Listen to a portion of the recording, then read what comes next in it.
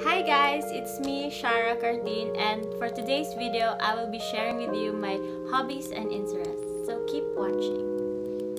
So for my first hobby, which I discovered recently during the quarantine, is playing badminton.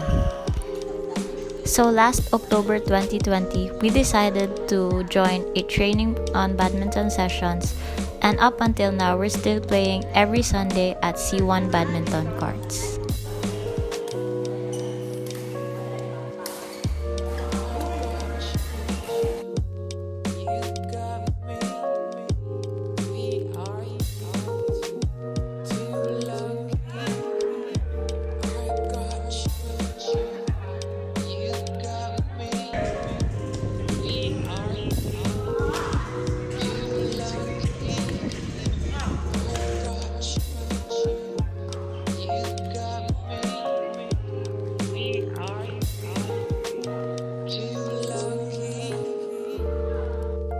So for my second hobby, which is going on adventures with family and friends.